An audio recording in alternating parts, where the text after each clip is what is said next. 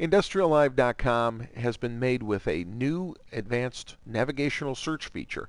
And what that does is that makes it really easy for you to find the exact item you need real quickly and uh, very accurately as well.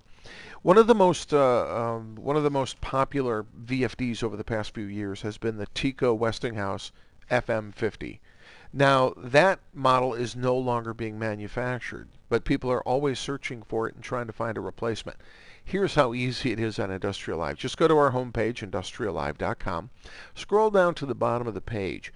In the footer, you'll see something that's called our sitemap. If you click on that, it'll give you a list of links to different places on our website. Right here in the right-hand column, you'll see that we have an actual page just dedicated exclusively to the TECO FM50 that's been discontinued. Now, the uh, specifications for the FM50 are listed here and the different models as well. Now, this is no longer being manufactured, but let's say you were interested in the FM50-201-C.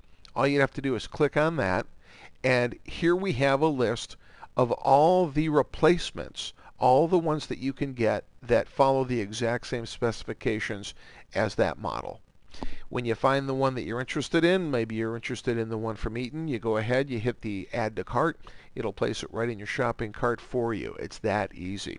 We accept secure credit card payment with the uh, orange checkout button here. You can also pay by PayPal or with your Google checkout.